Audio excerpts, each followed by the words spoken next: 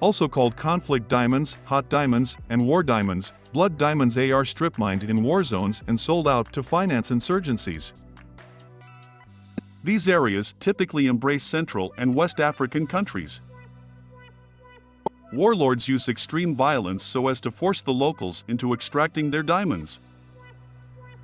For example, throughout the warfare in Republic of Sierra Leone gaggle called the Revolutionary Northern Alliance killed, threatened, and even stopped the arms of individuals within the diamond villages till they took management of the mines.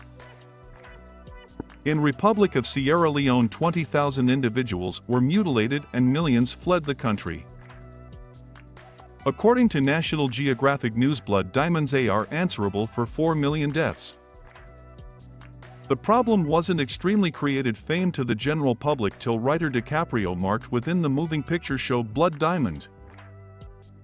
The diamond business responded to the moving picture show with eminent PR campaigns individuals unbroken shopping for. Several years earlier in 2002 the Kimberley Method certification theme was created to manage diamond commerce and stop illegitimate diamonds from getting into the market. It was unreal by the diamond business and instated by the United Nations. De Beers and also the remainder of the diamond business currently claim that 99.8% of diamonds are conflict-free.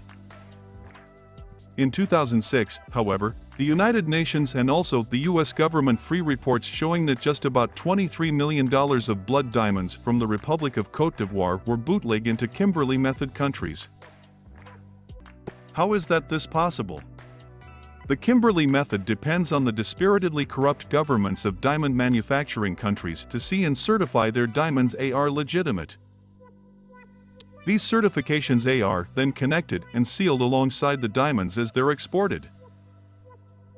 Countries just like the US will then make sure that the diamonds aren't from illegitimate sources. Many times brass get paid off to let diamonds through or they get bootleg across borders into legitimate commerce channels.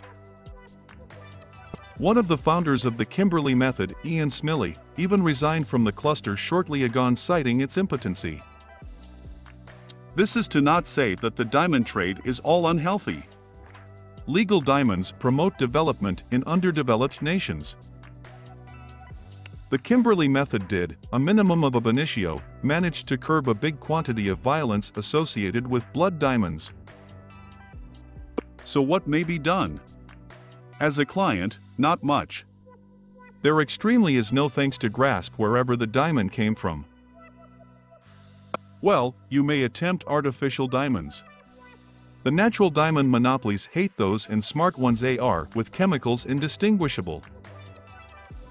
You could fly to continent and check that the diamonds are legit along with your own two eyes.